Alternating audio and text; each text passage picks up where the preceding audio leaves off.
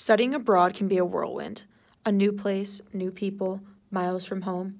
But from the start, my journey was a little extra chaotic.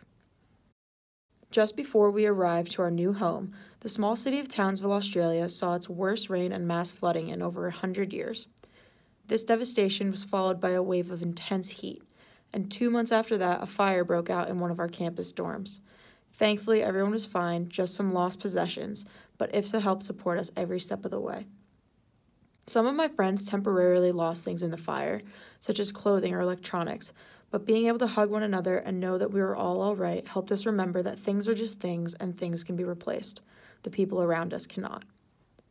Though our time together was compounded with crazy natural events, the natural world also ended up being our safe haven.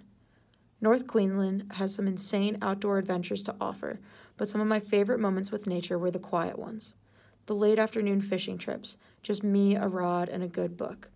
The silent sunrises with friends, still too sleepy to talk. The stargazing from the top of mountains, crickets providing the music. The solo walks down long beaches, waves crashing over and over. The hikes that ended in views that left me speechless. The natural world around us is absolutely precious, and my time abroad reaffirmed that for me. I also had the opportunity to take a conservation class within James Cook University's world renowned marine science department. I learned from some of the best researchers in environmental science, but perhaps even more important, I saw how Australians dedicate practical efforts to protecting the environment day after day. I quickly learned that the culture at my university was to bring your own reusable bags to the grocery store or bring your own coffee mug to coffee shops. These are practices that surprised me at first, but are ones that I loved and adopted and have brought back to my home campus in the United States.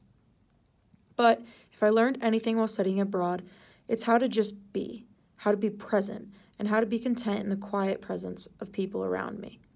And yet, I also learned how to be content in my own company, especially when immersed in the natural world. Being able to find happiness in myself has been a vital part of my transition into adulthood. A new place, new people, miles from home, that's where I really discovered who I am and who I want to become.